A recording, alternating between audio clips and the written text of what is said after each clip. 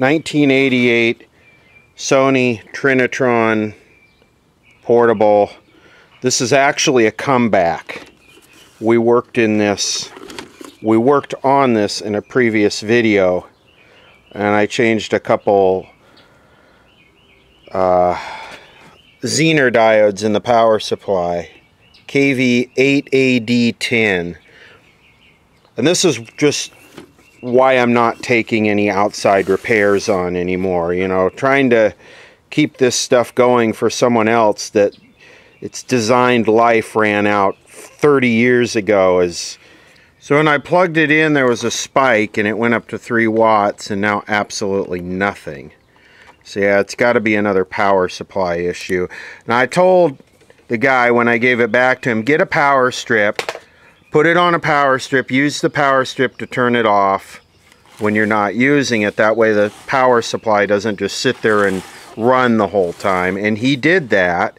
I don't know if maybe that hurt it or what the deal is. So this is the power supply board. I think this thing will do 12 volts or this down converts the AC line to 12 volts on. I'd have to rewatch the previous video. And the Zener diodes we changed were in here. They're these two. And wow, is that baked. And yeah, I upsized them. This is why I told him to... Something looks like it popped in there. Maybe not. I told him to turn it off because this power supply just sits and runs and just bakes. Look at that. And that's why I upsized the Zener diodes and stood them off the board. I need to go back and watch my previous video on this.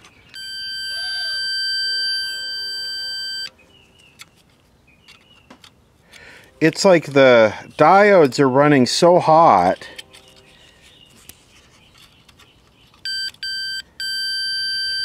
Yeah, that, that sucker is shorted.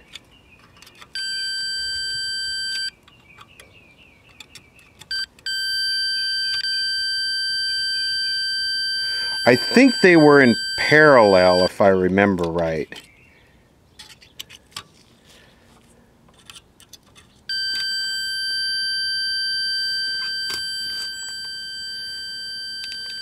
Yeah, they are. They're in parallel.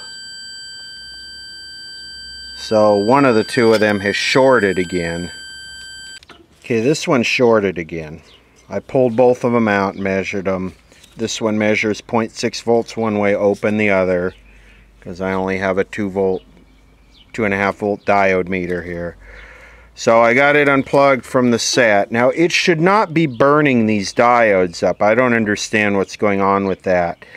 There's really nothing that can cause that. It comes in, it's filtered to DC and then there's a dropping resistor here and those go to ground. So unless he's got extremely high voltage where he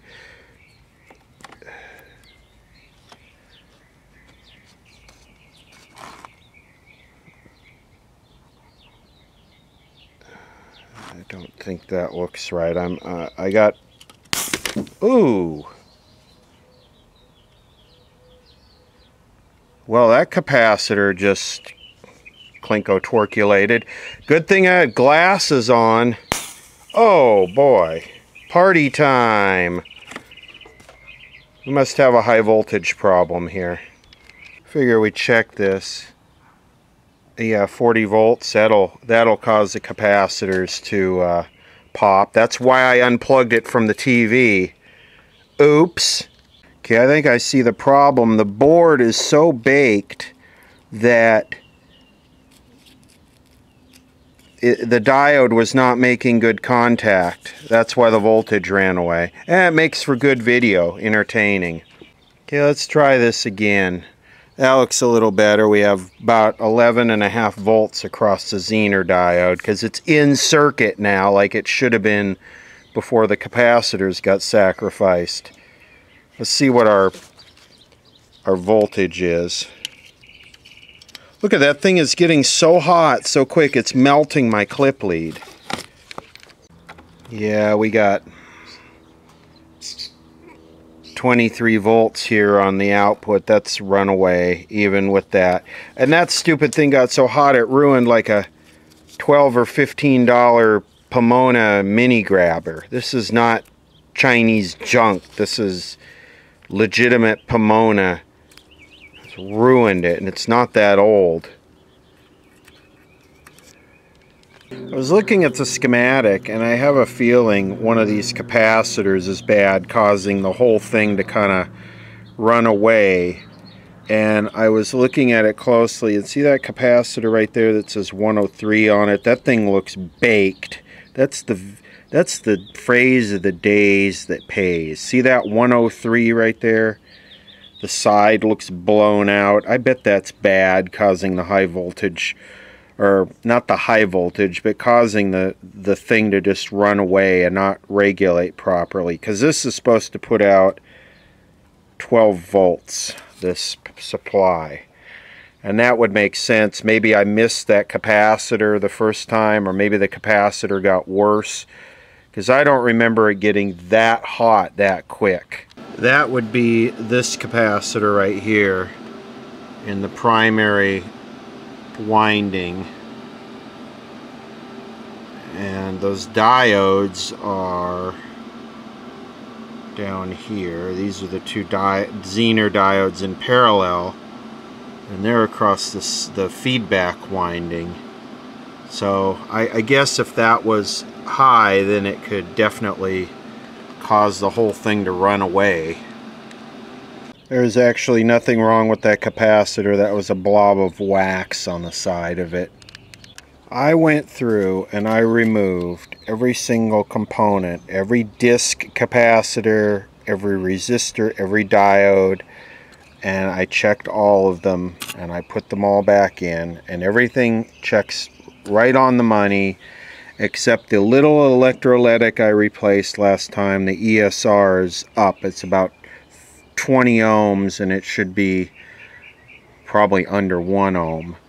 So I don't know what's going on with this. I think the solution with this is I'm going to get the parts. But if it's still getting too hot, I'm just going to get a 12 volt wall wart. And first thing we'll do is we'll test the TV on batteries and see if it got hurt when this screwed up but I think the solution would be just to get a, a new 12 volt wall wart. The regulation on the new stuff is so much better and, and it's just, yeah, I'll put this back in the TV so the TV is complete and original, but I think for reliability goes, just let's get rid of this. So running on batteries, and I'm just feeding it into the power supply. Uh, it's drawing 1.45 amps and it's working. So it looks like it did not get damaged which is good thing those Zener diodes short rather than go open. So we need like a 12 volt 2 amp wall wart and that's not a big deal. Continuing on with our Sony I picked up two 5 watt 10 volt Zener diodes and I picked up the 22 microfarad 50 volt capacitors to replace the one in here that was high ESR and then I picked up a bunch of uh, replacements for the ones that popped. Okay, the ESR on this one is 0.72. The ESR on this one is 1.1. The ESR on the one that came out of there is 26 ohms. I wonder if that's what was causing the diodes to heat up. Okay, you know what? It's not pretty, but it's legit. Those are supposed to be two half-watt Zener diodes, and they're now two 5-watt Zener diodes. So I went from 1 watt to 10 watts. And we got Nice new capacitors. I just hope that small electrolytic was what was causing them to heat up. Alright, let's see what happens here.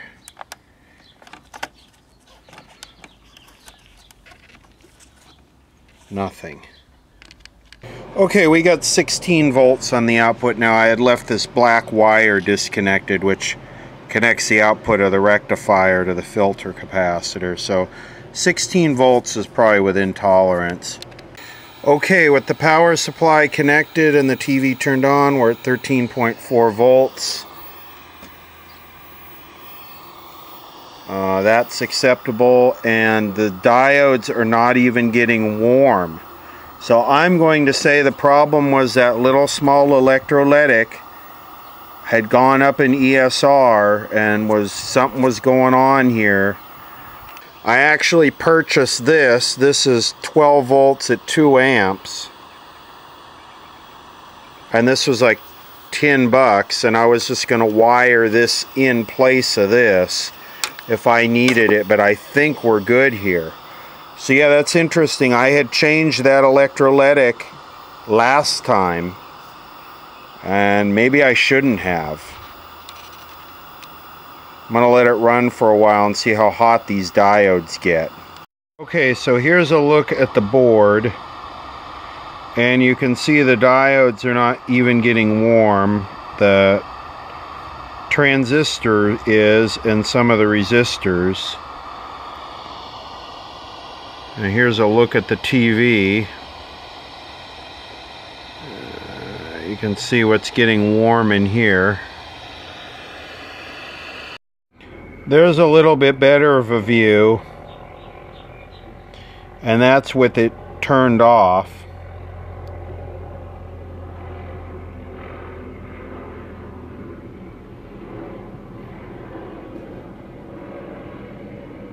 So yeah the diodes look good now.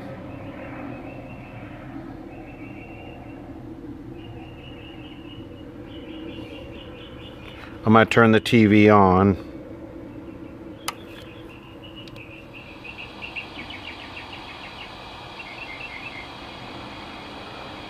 Look at the chip heating up back here.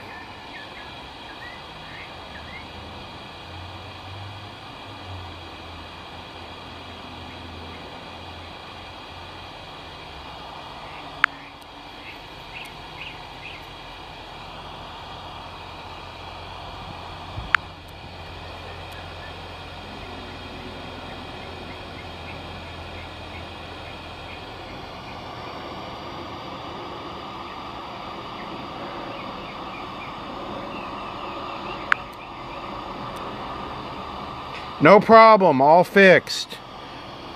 Must have been a bad electrolytic capacitor. It's always a bad electrolytic capacitor.